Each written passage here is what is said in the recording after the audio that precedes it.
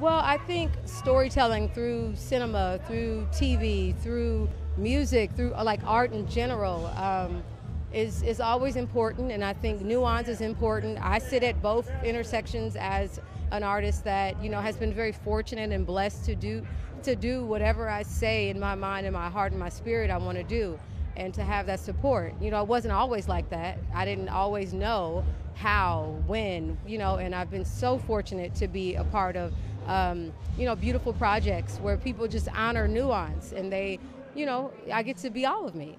Yeah.